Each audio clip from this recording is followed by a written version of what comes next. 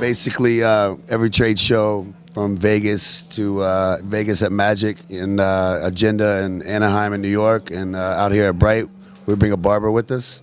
And uh, as you can see, it, it creates quite a, a, a presence at the show that uh, I don't think no one's ever really done before. And uh, it's a cool vibe. You know, we take one barber each show, we rotate them in, so uh, everybody gets a shot to travel and check out the, uh, the shows in the world, and uh, it's a good thing for everybody. Cav, how do you like the show so far? It's, uh, it's been an experience, man. I've uh, I've never been out of the country before, so it's uh, something else. You know what I mean? It's cool. It's cool. Everyone's been showing us a lot of love, so it's it's been a lot of fun. So customers are satisfied. You're the first lady here. Yeah, I guess I am. Yeah. Sit down in my You're happy with the haircut so far? Yeah, so far I am, yeah. Excellent, excellent. Yo, Mike, it's time for another freestyle with the guy with the flute and the guitar. Na, na, na. Wir, Mike, der Besitzer von Frank und ich, wir sind halt seit tausend Jahren befreundet miteinander und haben total viel zusammen gemacht, weil wir auch fast Nachbarn sind. Ich wohne in Brooklyn, er wohnt in Manhattan. Wir machen super auf Party. Yeah.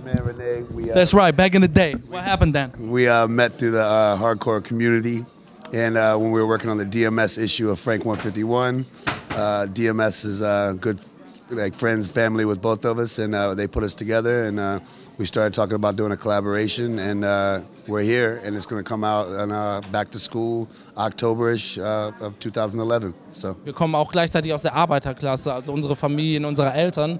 Und der Beruf des Barbiers, ne, um den geht es ja in Franks Chop Shop. Das ist ein ehrwürdiger Beruf und da haben wir uns dann drei Teile ausgedacht, die das auch, die das auch repräsentieren. And um, I'm gonna walk you through the three items that we have. Actually, we got four items over here, but it's one item in two colorways, so actually it's three styles.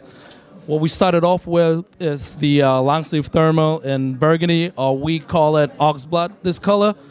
You know, nice clean look, you know, buttons, like the buttons and the colorway actually um, sort of represent the interior of the chop shop, which is mainly mahogany. Then when it gets a little chillier, you take out this piece, you know, um, paying a little respect to, you know, the walks of life we came from. Like I said before, working class. And this is going to come out in two colorways, uh, raw denim and uh, used.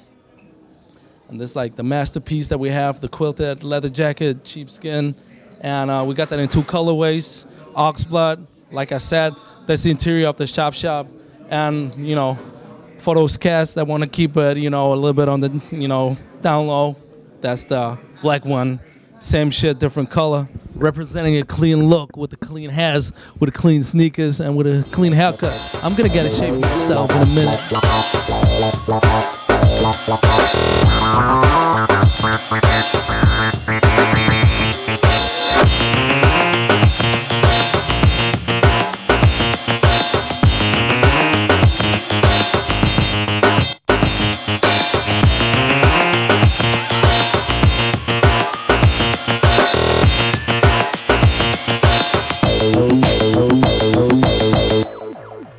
Shout outs to Frontline. Happy anniversary, 25 years. Here's a little side story.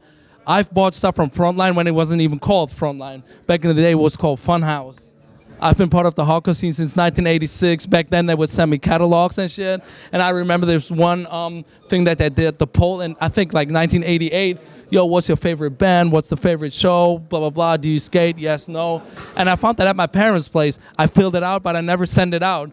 So favorite show of the year was RKL, and I was looking forward to the Youth of Today Lethal Aggression Tour.